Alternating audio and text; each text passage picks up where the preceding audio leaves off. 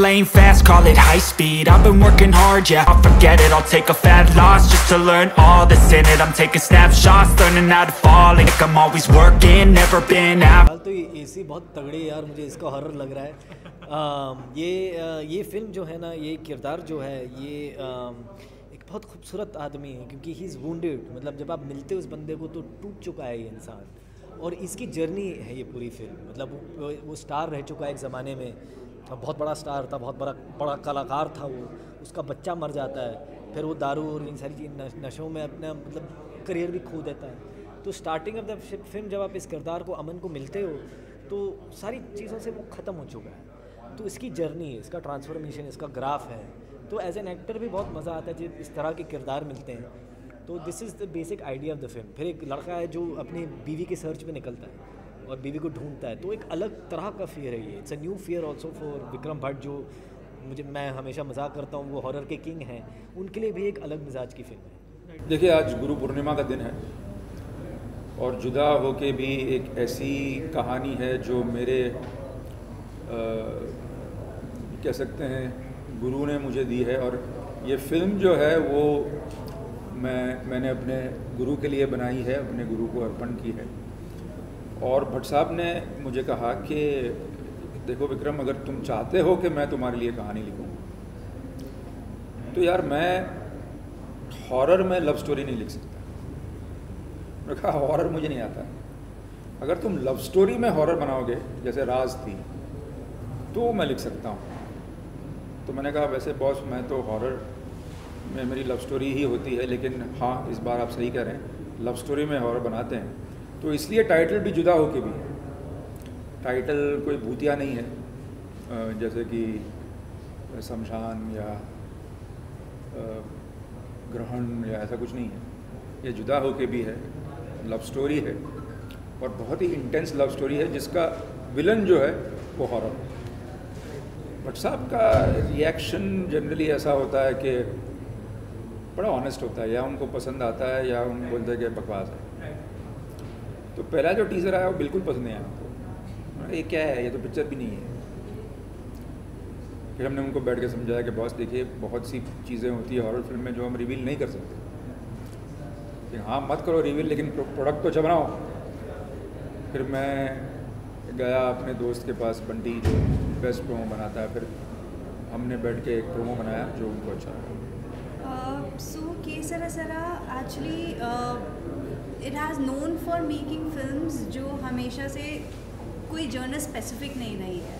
So we have made horror film we made comedy we made political but we were more focusing on the theatre side of it कि हम theatres launch कर रहे थे across India and then we met sir and we actually met sir for a project and when we met sir, we got this entire idea of the filmmaking, the entire process of how the upcoming films he is having currently so sir is a legend in the industry everybody knows about that already so uh, मतलब अगर आप ये बोलो तो industry में अगर horror और romance कोई लेके आया सो दैट इज़ सर इनके अलावा there is nobody who's even touch that point So uh, since we had made horror films in the past and uh, we wanted to do something similar because uh, आजकल अगर आप films देखोगे so uh, there are there are a lot of horror comedies there are a lot of uh, such comedy elements जो horror में वो लोग डाल रहे हैं but there was nothing like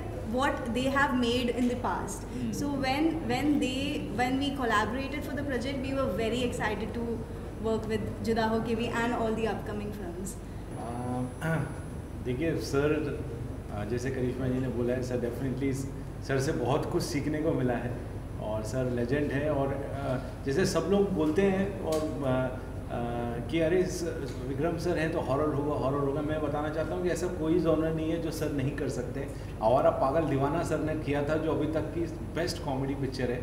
आज भी हम देखते तो हमें हंस सब लोग हँसते हैं। तो ऐसा कोई जोनर नहीं है जहाँ पे सर अगर इन्वॉल्व है और वो चीज़ें उसका रिज़ल्ट वो जिस जो जोनर है वहाँ से वो निकाल देते हैं इस मूवी का भी हम लोगों ने एक्सपेक्ट नहीं किया था जिस तरह से सर ने किया है। और जिस तरह से हम लोग देखे रहे, देखते हैं कि अभी मेरे को शर्म आती है अपने ऊपर, सर जितना काम करते हैं, उसका फाइव परसेंट भी मैं नहीं करता हूँ। और चौबीस नहीं जब भी देखो बिज़ी रहता है काम में, करते रहते करते रहते। तो यूथ के लिए हम सब के लिए भी कि जो भी फ़िल्म मेकर है और फ़िल्म लाइन में तो बिल्कुल ऐसा डेडिकेशन जुनून पागलपन चाहिए।